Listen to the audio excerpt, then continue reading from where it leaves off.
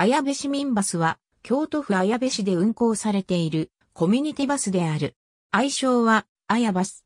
市が南北線、神林線の乗り換え接続なお、綾部市民バスの運行開始まで市内で運行していた綾部市営バスについても後で述べる。2004年1月に会社構成法を適用された京都交通舞鶴支社管内の綾部市内の路線を2005年4月に営業場とされ成立した。綾部市が運営する。運行は軽単タクシーに委託していたが、同社から委託解除の申し出があったため、2008年12月に、丸和運輸機関グループの関西丸和ロジスティクスが新たな委託先となった。上記の歴史の記述は、いずれも、あやバス公式サイトに基づく。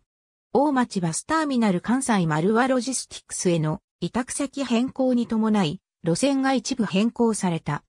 2018年4月1日改正時点、内は一部不経郵便あり1日あたり550人程度が利用。収支面では赤字であるが、当初予想していた以上の利用者となった。またどの路線も綾部市立病院を経由しているため、私立病院から離れた地域の住民の利用が多く、綾部高校への通学の利用者も多い。綾部市営バスのバス停京都交通の路線廃止の代替として、綾部市が自家用自動車による優勝運送として運行していた廃止代替バスである。綾部市民バスの運行開始時に市民バスに統合される形で運行終了した。以下一路線があった。